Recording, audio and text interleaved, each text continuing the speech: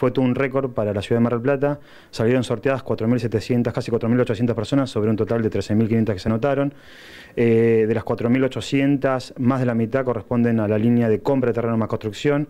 Y bueno, la verdad que fue un éxito y bueno, y ahora esas 4.000 personas, 4.800 personas deberán solicitar el turno en la página ANSES para presentarse en el, en el banco hipotecario. ¿Se tiene idea de las edades de los ganadores?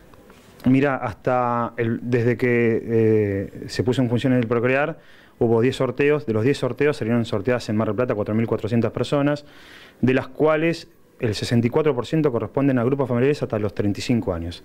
O sea que más o menos eso demuestra la tendencia de cuál es la demanda habitacional acá en Mar del Plata.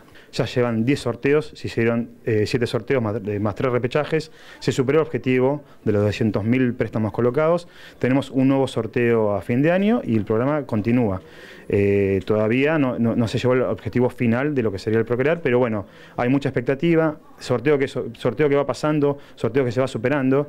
Para que te des una idea, hubo 10 sorteos en Mar del Plata y serían sorteados 4.400 personas.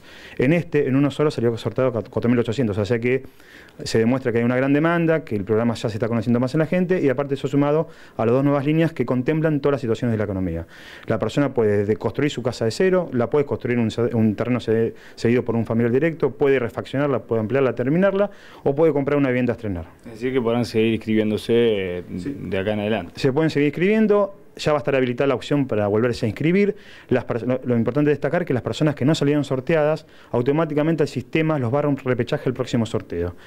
En este sorteo eh, participaron 130.000 beneficios nuevos y 28.000 personas que habían quedado fuera de los sorteos. O sea que este sorteo fue sorteo más repechaje. Por eso llegamos al, valor de 158.000 préstamos eh, eh, beneficiarios. Perdón. ¿Cuál es la importancia de este tipo de créditos? La realidad que una familia eh, no puede acceder hoy a una línea de crédito hipotecario, se hace un banco privado estatal, para que te des una idea. Un grupo familiar que gana hasta 6 mil pesos puede ingresar al Procrear, pagando una tasa del 2% fija a los 5 años y pagando la verdad que una tasa que es muy preferencial.